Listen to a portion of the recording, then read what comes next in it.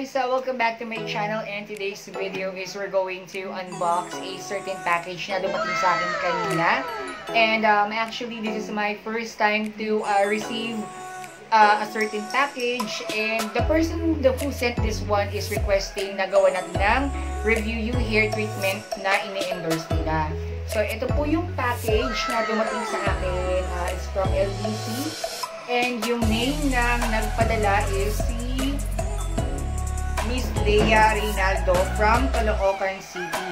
So Miss Leia, uh, thank you so much po sa uh, pagpapadala ng package na to and yes, gagawan po natin ng review yung uh, ini-endorse ninyong hair treatment. So let's go ahead and open the box na so para makita natin kung ano yung laman.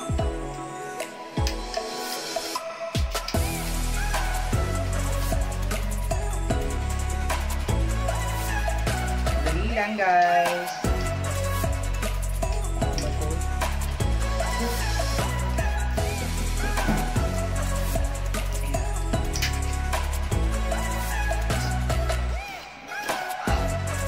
Guys, ito yung laman ng package. So naka-bubble wrap pa siya.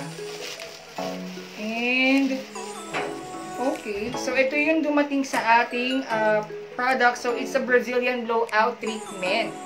And yung pangalan ng kanilang produkto is the High Q uh, Brazilian blowout. And actually, apat siyang bote. Ayan, wait lang. So meron tayong I think this is like 250 ml or mga 300, mga ganun. Tapos this one is like 150 ml, yan. So, meron silang apat na scent. And yung first nilang scent is yung, wow, it's a floral scent, like ilang-ilang. Then the other one is the orange papaya scent. Tapos meron din silang strawberry and then Tutti, Tutti, Tutti, Fruity. Ayun, ganun. So, tingnan natin yung, yung mga product na sa amoy natin isa-isa kung ano yung amoy niya. So, yun nga, bali guys, naka ano siya, naka, talagang naka-tape para secure talaga siya.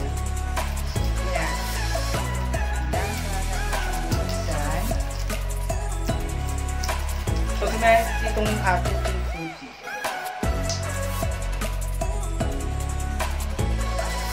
guys. Ito amoy candy.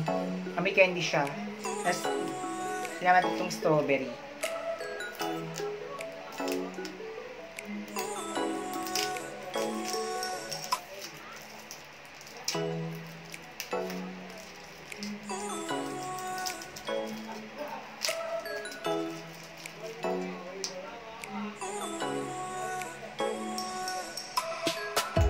ano siya, uh, kaamoy niya yung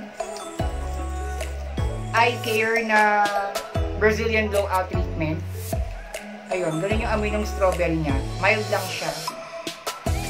Tapos, ito naman yung uh, orange papaya.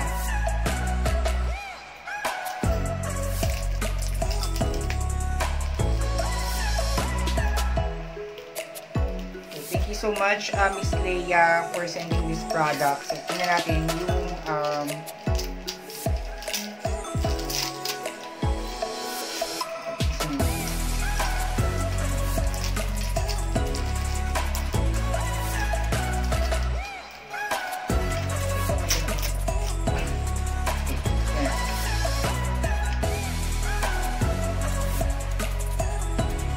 ano siya, ang bango niya guys, parang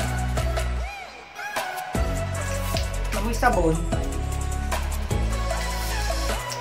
Beauty soap, mga ganun. So, tinan natin siya. So, yun guys, ang cute nung ano nila, ng sticker nila. Ayan. So, yung last na bubuksan nating uh, Brazilian blowout treatment nila or yung scent ng product nila is yung ilang-ilang scent. So, let's go ahead and uh, check kung ano yung amoy niya. Talagang selyado yung ano naka hindi talaga siya ng bonggang-bongga.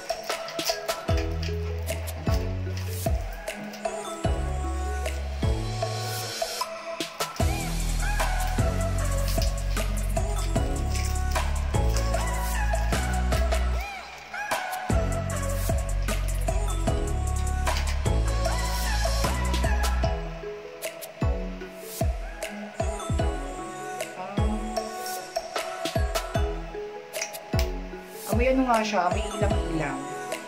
Ayun guys, bali, ayun yung apat na product na sinend sa atin. So yun guys, um, bali, we're done opening the package and uh, one thing din po pala na napansin ko sa uh, Brazilian Blowout treatment na sinend sa atin, aside sa iba-iba yung kanilang mga scent, they have different variant as well. So yung uh, first bottle, which is yung ilang-ilang, this one contains collagen with argan oil. Yung second bottle natin, uh, which is yung Tutti Fruity, um, this one is rich organic. Yung third one is the strawberry. This one contains collagen. And then yung final bottle, which is yung orange papaya, this one is uh, with phytobotox. So yun guys, um, gagawa tayo ng 4 separate videos using this uh, Brazilian blowout treatment. Tapos uh, tignan natin kung ano yung magiging effect niya sa buhok ng ating client.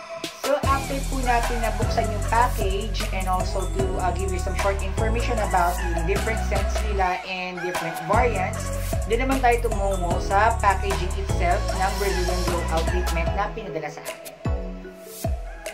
So number one is the packaging itself. Ang nagustuhan ko sa product na to is nakalagay siya sa isang cleared bottle kasi uh, mas madali natin madidetermine kung uh, gaano pa karami yung natitirang product after natin siyang ang next comment ko naman po is yung labeling nila.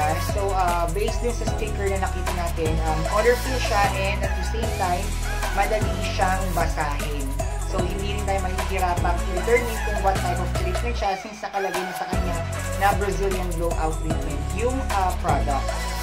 Next ko pa lang napansin sa product na to is yung during na binuksan natin siya or yung nag-unbox tayo tapos inamoy ko siya one by one uh, hindi ko napansin yung pagiging matapang ng product. So, parang feeling ko mild lang siya. Pero titignan pa natin to uh, during the application process.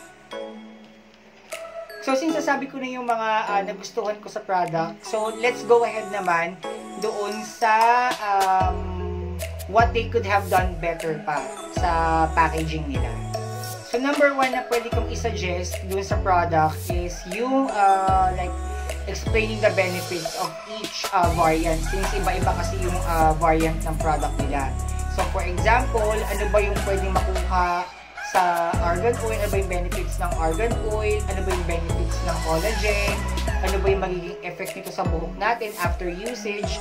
So, mas maganda kung meron silang explanation. Second po na suggestion ko na pwede rin nilang ilagay is yung uh, instruction or procedure. Kasi uh, kahit sabihin natin na ang Brazilian blowout is ganit lang siya i-apply, much better pa rin na meron tayong instruction para yung mga, for example, uh, gusto mag-DIY, magiging uh, aware sila kung paano ba ginagamit yung Brazilian blowout. Ang isa ko pa kung pwedeng isuggest is they could also put the uh, ingredients na ginamit dito sa product na to para at least alam din ng mga gagamit kung ano ba yung uh, nilalaman ng product na to. So guys, one thing pa na napansin ko dun sa labeling nila is uh, hindi naka-indicate kung ilang ml yung uh, nilalaman ng bawat product. So, chinek ko rin yung sticker kaya if you notice dun, kung babalikan nyo yung uh, part na binubuksan ko yung product and then I started to see, hinuhulaan ko lang kung ilang ml siya. So, if they could put something na indicates na kung ilang ml siya. For example, 500 ml, 150 ml, 1000 ml, then that's much better. So, yung last na pwede ko pang isuggest na pwede nilang idagdag sa labeling nila is yung expiration date at yung manufacturing date. Kasi, um, yun yung napaka-importante sa lahat para at least, uh, for example, me uh, na gumagawa ng buhok, malalaman ko kung hanggang kailan ko siya pwedeng gamitin. So guys, uh, before I end up this video, again, I just wanted to say thank you so much to Miss Leia Reynaldo for sending this package and giving me the opportunity to use your product at the same time.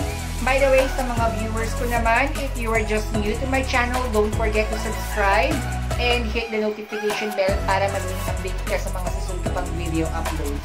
So hanggang dito na lang po guys ang aking um, unboxing video. And thank you so much for watching and have a great day. Bye!